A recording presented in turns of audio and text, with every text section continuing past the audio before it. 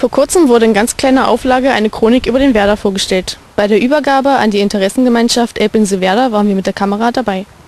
Erarbeitet wurde die Chronik im Verein Impuls in Sachsen-Anhalt und übergeben an Christine Meyer. Recht vielen Dank im Namen der Mitglieder der Interessengemeinschaft Elbinsel-Werder. Wir wollten natürlich wissen, wer und was sich hinter dem Verein Impuls verbirgt.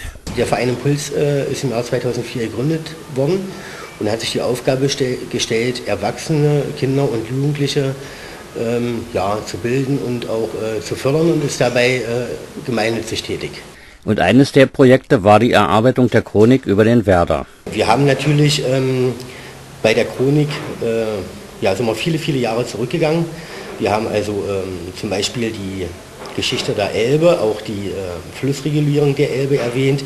Wir sind, äh, da Magdeburg ja als eine der größten, wenn nicht sogar die größte Festungsstadt in Deutschland war, also auch auf dieses Thema äh, nochmal ganz konkret eingegangen und haben nebenher festgestellt, dass äh, außergewöhnliche und außerordentliche Persönlichkeiten unter anderem auch den Werder bewohnt haben. Einer davon war Adolf Mittag, der sich besonders um die Gestaltung des Rote Hornparks verdient gemacht hat.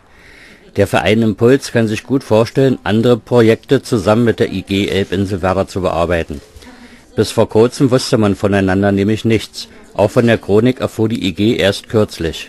Also überraschenderweise vor ganz wenigen Tagen, genauer gesagt in der letzten Woche, ein Anruf. Ich war zufällig äh, zu Hause. Ähm, war natürlich sehr überrascht. Ich wusste von diesem Verein bis also zu diesem Anruf nichts, muss ich leider eingestehen, obwohl wir vielleicht 100 Meter auseinander äh, leben, wohnen, uns befinden.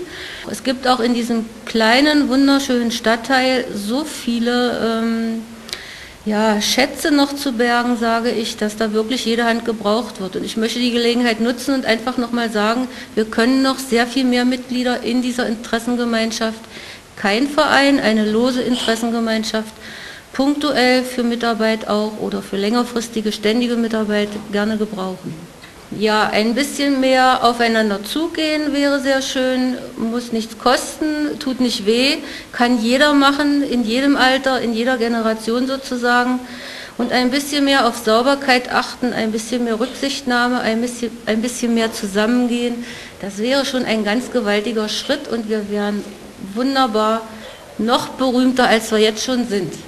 Also ich wünsche zunächst mal den äh, Werberatern schon mal jetzt ein äh, ja, besinnliches Weihnachtsfest und eine schöne Zeit und möchte die Gelegenheit nutzen, mich bei allen Mitarbeitern und Damen und Herren, die an der Chronik äh, mitgearbeitet haben, mich nochmal ganz recht herzlich bedanken.